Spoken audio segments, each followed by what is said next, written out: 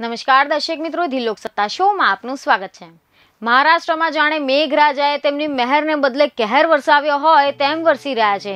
જેના પગલે મહારાષ્ટ્રમાં એક બાદ એક આફતો આવી રહી છે, જેમાં એક તરફ ભારે વરસાદે તાંડવ મચાવ્યો છે, ત્યારે બીજી તરફ ભૂસ્ખલનની પણ ઘટના સામે આવી છે. રિપોર્ટ મુજબ મહારાષ્ટ્રના મહાડની પાસે એક બહુ મોટી દુર્ઘટના સર્જાઈ છે.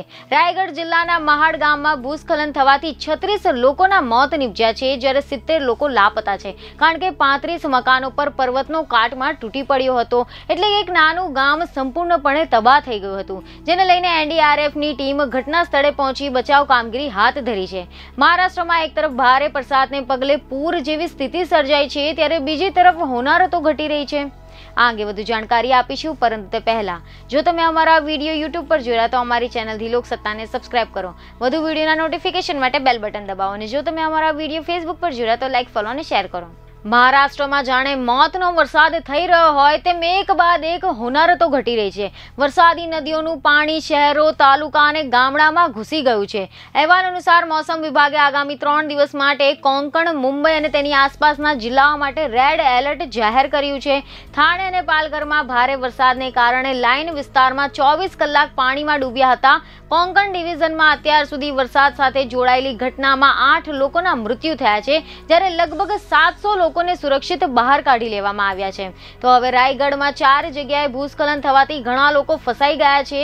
ત્યારે હવે મહાડ ગામને કનેક્ટ કરનારો રસ્તો પણ પાણીમાં વહી ગયો છે. આ કારણે ગામની અંદર લોકો ફસાયેલા છે. તો કોલ્હાપુરમાં ચીખલીમાં ફસાયેલા લોકોને બહાર કાઢવા માટે એનડીઆરએફની એ બે ટીમ સતત પ્રયત્ન કરી રહી છે.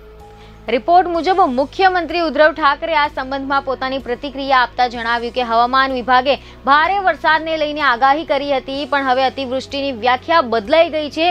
જેવી રીતે ભેખડ પડવાની ઘટના ઘટી રહી છે, આવી ઘટનાઓ અતિવૃષ્ટિની વ્યાખ્યામાં આવતી નથી, પણ અતિથી વધારે વૃષ્ટિમાં આવે છે. આ ફક્ત વધારે પડતો વરસાદ જ નહીં, પણ અનપેક્ષિત સંકટ પણ છે. થોડા સમયમાં વધારેમાં વધારે વરસાદ વરસી રહ્યો છે. કાલે પ્રધાનમંત્રી સાથે મારી વાત થઈ, તેમને સંભવ દરેક મદદ કરવાનું કરવાનું આશ્વાસન આપ્યું છે. આર્મી, નેવી, વાયુસેના, કોસ્ટગાર્ડ અને એનડીઆરએફની ટીમની મદદ લેવાઈ રહી છે. અહેવાલો મુજબ એવું જાણવા મળ્યું છે કે ભારે વરસાદના કારણે કોંકણ રેલ રૂટ પર ઘણી જગ્યાએ ભૂસ્ખલન થયું છે. રત્નાગિરી જિલ્લામાં વરસાદને કારણે રેલ સર્વિસ બંધ થઈ ગઈ હતી. એનાથી અલગ અલગ જગ્યાએ લગભગ છ હજાર મુસાફરો ફસાયા છે. છેલ્લા ચોવીસ કલાક દરમિયાન મહારાષ્ટ્રના ચિપલુન, કોલ્હાપુર, સતારા, અકોલા, યવતમાલા, હિંગોલી જિલ્લામાં ભારે વરસાદ થયો છે.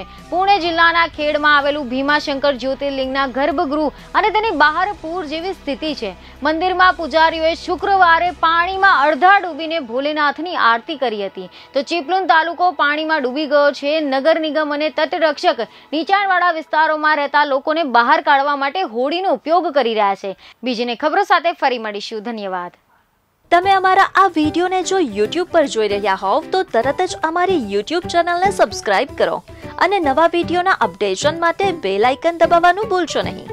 જો તમે અમારો આ વીડિયો ફેસબુક પર જોઈ રહ્યા હોવ, તો અમારા ફેસબુક પેજને જરૂર લાઈક કરો. વધુ અપડેટ માટે લોકસત્તાની વેબસાઇટને વિઝિટ કરવાનું ભૂલશો નહીં.